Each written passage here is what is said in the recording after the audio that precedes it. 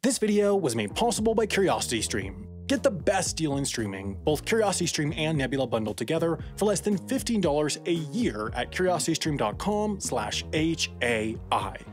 Are you constantly tired in the morning? When your alarm goes off, do you smash it with a hammer? Has your morning alarm clock smashing routine gotten to be such a problem that your wife is threatening to leave you? Are you spiraling into poverty due to the cost of replacing all the destroyed alarm clocks?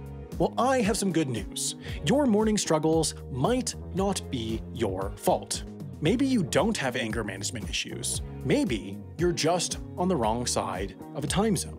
You see, much like typewriters and the concept of regular bathing, time zones didn't exist until the late 1800s. Back in the day, in a more honest time, towns oriented their clocks based on the sun.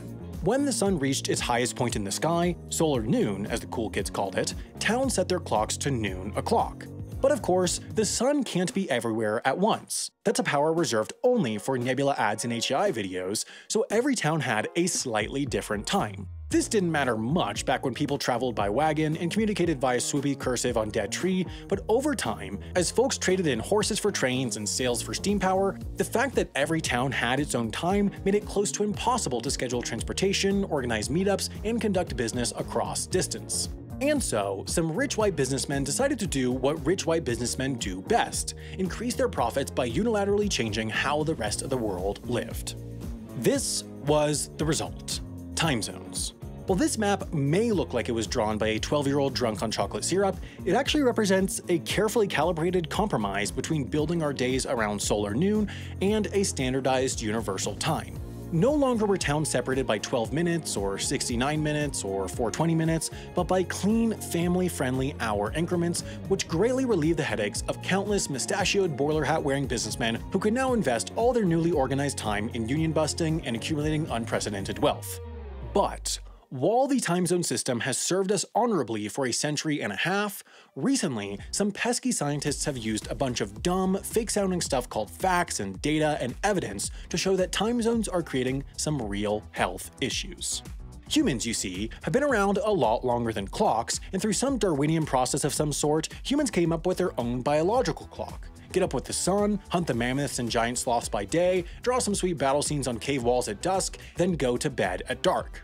And though we don't live like that anymore because our selfish ancestors came up with extravagant inventions like agriculture and electricity and not dying of dysentery, we're still programmed to get up with the sun and go to bed when it's dark. With time zones though, some of us are getting up with the sun, while others are getting up while it's still dark. Take, for example, two towns in the central time zone, Pensacola, Florida on the time zone's eastern edge, and Lubbock, Texas on its western edge. Now, although these towns are similar in the fact that they both have silly names and we should feel bad for the people who live there, there's one key differentiating factor.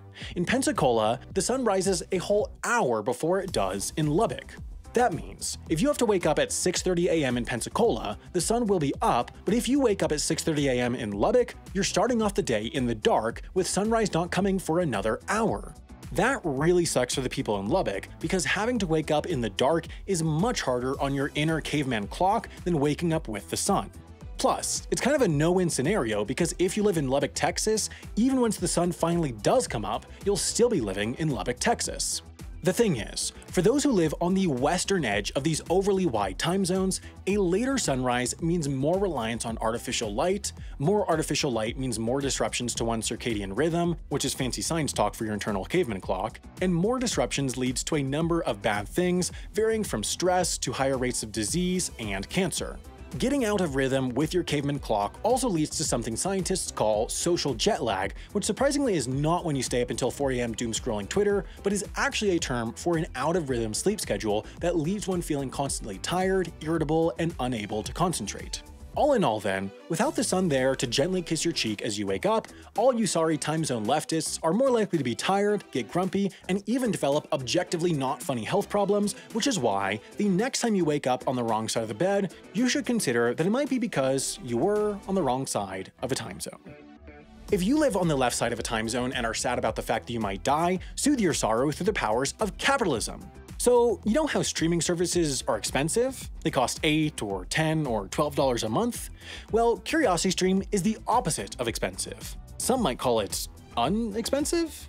That's because, with the current sale pricing, it costs less than $15 a year. That's about the cost of a movie ticket, but with this, you don't have to sneak candy by a sad teenager because you can watch CuriosityStream and Nebula on your TV, tablet, phone, or computer. Of course, CuriosityStream is the place to go if you're looking for documentaries by big names like Jane Goodall and Chris Hadfield, like this very highly rated one about the Winnebago salesman who became the subject of one of the internet's earliest viral videos, while Nebula is where to go if you're looking for bigger budget stuff by these smaller names, like me. I've got two Nebula originals coming out this month, and the only way to see them is with a subscription. With the current sale pricing, now is the time to sign up, so make sure to do so over at curiositystream.com/hai, and you'll be supporting the channel while you're at it.